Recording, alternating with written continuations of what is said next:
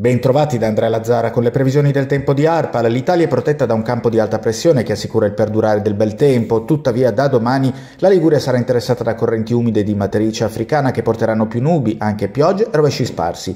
Il dettaglio oggi venerdì 7 ottobre in prevalenza sereno sulle coste, mentre sui versanti padani avremo foschie anche dense la sera dovute a banchi di nubi basse. Venti in regime di brezza o deboli da nord, localmente calmi, mare poco mosso quasi calmo, temperature massime stazionarie o localmente in aumento, lungo la costa tra 23 e 27 gradi, nelle zone interne tra 21 e 26 gradi. Domani sabato 8 ottobre al mattino soleggiato con foschie dense in dissolvimento sui versanti padani, nubi in aumento lungo le coste, debole piogge nel pomeriggio a partire da ponente, venti in regime di brezza o deboli in prevalenza meridionali, mare poco mosso o calmo, temperature stazionarie o in diminuzione, minime lungo la costa tra 15 e 19 gradi, nelle zone interne tra 10 e 14 gradi, massime lungo la costa tra 20 e 25 gradi, nelle zone interne tra 20 e 23 gradi. Dopodomani, domenica 9 ottobre, domenica grigia su gran parte della regione, nubi accompagnate da piogge sparse, anche a carattere di rovescio di intensità più moderata.